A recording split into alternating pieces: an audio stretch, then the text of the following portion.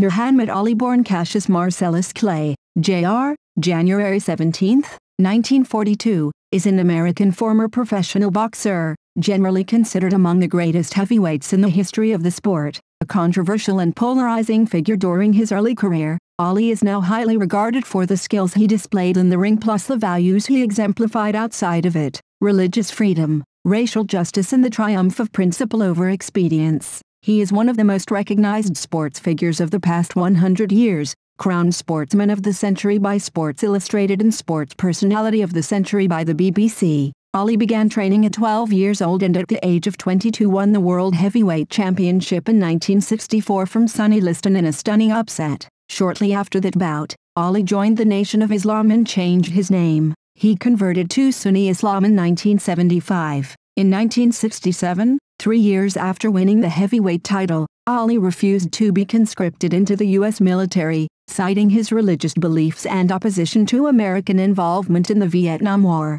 He was eventually arrested and found guilty on draft evasion charges and stripped of his boxing title. He did not fight again for nearly four years, losing a time of peak performance in an athlete's career. Ali's appeal worked its way up to the U.S. Supreme Court, where in 1971 his conviction was overturned. Ali's actions as a conscientious objector to the war made him an icon for the larger counterculture generation. Ali remains the only three-time lineal world heavyweight champion. He won the title in 1964, 1974, and 1978. Between February 25, 1964 and September 19, 1964 Muhammad Ali reigned as the undisputed heavyweight boxing champion. Nicknamed the greatest, Ali was involved in several historic boxing matches. Notable among these were the first Liston fight, three with rival Joe Frazier, and one with George Foreman, where he regained titles he had been stripped of seven years earlier.